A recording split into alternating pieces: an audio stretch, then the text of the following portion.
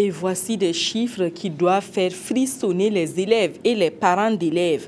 En 2013, plus de 70% des victimes d'accidents de la circulation au Burkina Faso avaient un âge compris entre 4 et 35 ans.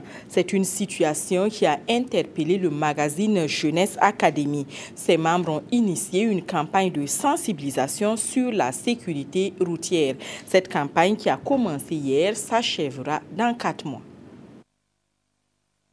Les mauvais comportements des élèves et étudiants en circulation sont nombreux. Non-port ou mauvais port du casque, circulation en groupe à la sortie des classes, utilisation du téléphone portable, bref, la liste est longue.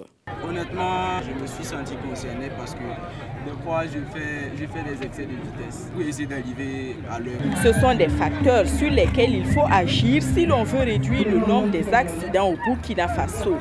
Le magazine Jeunesse Académie s'y est engagé. Il organise du 29 janvier au 15 mai une campagne de sensibilisation sur la sécurité routière. Le slogan de cette campagne c'est J'aime bien ma vie, je circule assurément bien.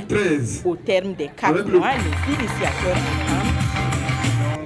du nombre d'accidents au milieu des élèves et des étudiants et qu'il y ait un changement radical de tous les élèves et étudiants, tous ces 17 000 élèves et étudiants qui sont Merci de votre accompagnement. qu'il y ait un changement radical afin qu'on ne voie plus de comportements néfastes dans la circulation routière. Jeunesse Académie bénéficie de l'accompagnement des ministères en charge de la sécurité, des transports et des enseignements. Le parrain de la campagne est un assureur. Je ne m'adresse même pas aux élèves, je m'adresse aux parents.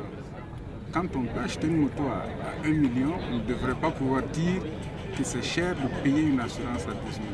C'est une fourchette de prix, ça dépend de la puissance de la moto et ça va de 12 000 à 32 000 pour l'année. Cette campagne de sensibilisation devrait toucher 22 établissements secondaires et supérieurs de la ville de Ouagadougou.